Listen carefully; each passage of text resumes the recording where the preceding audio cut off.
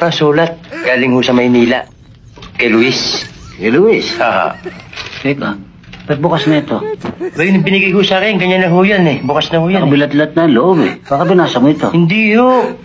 Babasahin ho yan. Unethical yun. Kabastusan ho yun. Kabastusan mo yung magbasa ng hindi yung sulat. Aminin mo ng binasa mo. Hindi ko binabasa. Ano kaya nilalaman ito? Kailangan daw ho ng pera pambayad ng buwis. Kailangan ng bayad. Pera. Eh, ba't alam mo nilalaman ito? Pambayad nga sa buwis ang kailangan ah. Binasa mo siguro ito. no? Hindi ho. Baka natsambahan ko lang ho. Saan ba ah? Oo. Ang halagang... 20 mil ho. Thanks.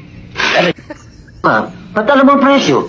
Natsambahan ko lang ho. Galing mo naman yan ba? Pati presyo, sakto.